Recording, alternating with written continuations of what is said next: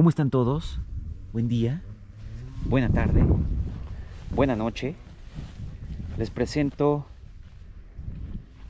la Chevrolet Colorado 2021. Esta es la versión Z71. Hay tres versiones. 4x2 de 4 cilindros, 2.5 litros. Y después tenemos LT 4x4 con un motor V6 de 3.6 litros. Y después tenemos esta. Esta Z71, 4x4 igualmente, 3.6 litros, 6 cilindros, caja de 8 cambios por 837 mil pesos. La versión intermedia 804 mil y la versión de arranque 689, que es 4x2. ¿Ok? Medidas. Vámonos para atrás, reversa, ahí está. Las medidas, ahí les van. 5.4 metros de longitud, 3.2 distancia entre ejes, 1.8 de altura y 2.1 de ancho. Capacidad de carga en 4x2 de 650 de kilos, perdón, 650 kilogramos. Y en estas versiones intermedia y Z71 695 kilogramos de capacidad. Ya con bedliner y tenemos ahí algunos ganchos de sujeción. Ya no hace falta ponerle absolutamente nada a esa caja. ¿Ok? Ay Dios, arrastre en la versión 4x2, 1600 kilos de arrastre. Y en esta versión les voy a deber el dato, se los voy a dejar aquí abajo en la descripción del video en las versiones 4x4 de 6 cilindros. Motores, e, es un Ecotec, Ecotec en la versión de arranque 2.5, 4 cilindros con 200 caballos, 191 libras. Ok, y después en esta versión Z71 y en la LT 4x4 es un motor, como ya les mencionaba, 6 cilindros, 3.6, 8 cambios, 308 caballos y 275 libras de torque. Bastante bueno. De verdad sí se maneja bien, tiene un buen empuje, tiene un buen despegue. Y esto evidentemente se va a trasladar a un buen manejo en situaciones 4x4 o en situaciones de carga y o arrastre. Interesante. Bien. Diferencias de la versión intermedia a esta, pues la suspensión Z71, que le va a ir mucho mejor, rines de 17 pulgadas, llantas off-road, no es, no es off-road extremo, no están los gajos aquí afuera, pero ahí tienen el diseño de los rines Z71 y esta versión tiene estos estribos que salen de la carrocería. Ahí lo tienen. Detalles, justamente estos, miren. Yo no sé si le di yo o ya venía así. Tiene este tallón. Son para eso, ¿eh? Son para uso rudo. Este tubular está bueno para subir y bajar. Pero hay que tener cuidado cuando hagamos off-road porque sí van a terminar bastante lastimados. Esto, no, no, no he podido hacer off-road con esta. Pensé que iba a estar lloviendo, pero está totalmente seco. Pero bueno, estos son los detalles de un estribo que sale mucho de la carrocería. Pues le vamos a dar algunos lleguecitos. Insisto, no sé si fui yo o ya estaba así. Pero bueno, ahí los tienen, miren. ¿Qué opinan? Buen diseño, discreto ya le urge una actualización, no se ve mal este. Pasos de rueda bien marcaditos, tanto delanteros como traseros. Y aquí tienen las partes, bueno, la parte trasera. Me gusta la, tapa con el logo Chevrolet ahí a lo grande, se ve muy bien.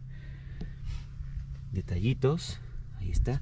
Y luego, este es un gran detalle igualmente para subir o bajar, este escaloncito sirve bastante.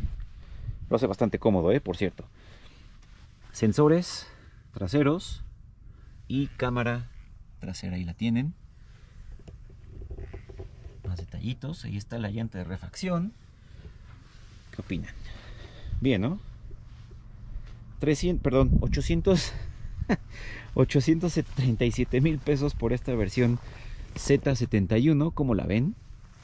Creo yo, insisto, como ya les había dicho, que le hace falta un poquito en modo urgente una actualización. Aquí tienen el frente este antifaz que integra justamente las luces, parrilla, logo en negro me encanta, y luego esta parte baja que también integra luces de niebla y esta parte todo negro. Se ve bien, ¿qué opinan? A mí me gusta, pero si volteamos a ver, por ejemplo, Frontier, la nueva Frontier, híjole, sí, el diseño de Frontier es espectacular al lado de Colorado. Ya le urge un poquito la actualización a esta. ¿Es su competencia? Sí, pero no en motor. En motor esta es V6 y Frontier por ahora solo hay cuatro cilindros. ¿Vendrá la V6? Sí, pero por ahora esta se queda arriba en números, pero en diseño Frontier pues es muy espectacular, la verdad es que sí. Luces diurnas en Frontier, aquí no. Y el aspecto es totalmente futurista al estilo Nissan. Aquí pues no se ve mal, pero me encantaría ver la nueva Colorado con la tendencia pues que ya la vemos por ejemplo en Cheyenne. Uf, que se ve espectacular, ¿no? Esperemos que herede mucho esta Colorado. Pero bueno, ahí la tienen. Vámonos adentro. Les presento plazas traseras bastante cómodas. Tenemos Isofix. Ahí está el Isofix. Parece asiento. Y ahí tienen estos asientos. Un detalle que me gustó mucho es, obviamente es vinipiel, pero esto, la tela que tiene es para uso rudo. La tenemos aquí y la tenemos allá en estos asientos que ahora se los muestro. Tenemos esta ventanilla, ahí está, buen detallito. Y la habitabilidad aquí adentro, rapidísimo, distancia está un poquito limitada. El, asiento está a mi altura, 1.74. No tenemos una gran distancia, no está mal. Y luego, rapidísimo, aquí está, puño, sí, altura bien, correcto. Ahí lo tienen. Entradas USB, una energía y es todo aquí atrás. Se mantiene la calidad de materiales en las puertas, bien. Y ahora vamos acá. Ahí tienen las plazas delanteras, lo que les mencionaba de los asientos. Esto sí me gusta mucho. Para uso rudo, no se preocupen, está, está bien hecha, bien pensada. No hay quemacocos, eso sí lo voy a extrañar, lo extraño en esta camioneta. Detalles, vean el diseño. Simétrico, volante multifunción. Vamos aquí arriba. Apagar esto. Ahí está. Vamos a encenderlo. Mejor para que les pueda mostrar. Pantalla 8 pulgadas. ¿Qué hay? ¿Es touch? Sí, ya vieron. Android Auto, Apple CarPlay y además tenemos Alexa. Servicios OnStar que también se pueden activar desde aquí. Vean servicio de emergencia, el servicio de asistencia 24/7, aquí está, miren. Tenemos también Wi-Fi y pues básicamente es lo importante de este sistema. A destacar obviamente OnStar, la conectividad y el sistema ya integrado de Amazon Alexa. Sistema de sonido en esta versión, solo en esta versión, Bose. Interesante, suena muy bien, por cierto. Aire acondicionado, ahí lo tienen. Seis bolsas de aire, Asistentes de seguridad activos y pasivos, bien. Control crucero, volante calefactable para el norte del país, que hace mucho frío. Buena, buena, buen equipamiento. Después accesos directos, sensores, control de descenso, iluminación de la batea, control de tracción y el sistema de apoyo para eh, el remolque. Después tenemos para los asientos delanteros tenemos calefactables, respaldo, asiento y respaldo, y tenemos también entradas USB y la de energía. Caja ya les platiqué, 8 cambios y también tenemos cámara reversa, esto sí se ve muy bien, buen detalle, con guías dinámicas, ahí está, miren. Muy bien. Tenemos también aquí la carga por inducción, que aquí hay un detalle, les quiero, les quiero mostrar. Pues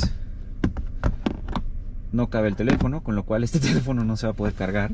Aquí sí cabe, pero no tenemos carga por inducción. En fin, detalles. Ahí está. El consumo, ¿cómo está el consumo? 8.7 kilómetros por litro. No se fijen, estamos en el Ajusco, tuvimos que subir bastante. Eh, pero bueno, ahí tienen la, la información de la computadora de a bordo, en esta pantallita central, con diferentes accesos de audio, el GPS, llamadas, algunos ajustes y después tenemos la información de la computadora de a bordo que está ahí. Bien, otro detalle que les quiero mostrar es esto. Esta es la llave. Esto en un auto 2021 me parece que ya es un poquito no obsoleto, pero sí se queda un poquito rezagado, ¿no? Tenemos el encendido remoto, el pánico y esta es la llave de encendido.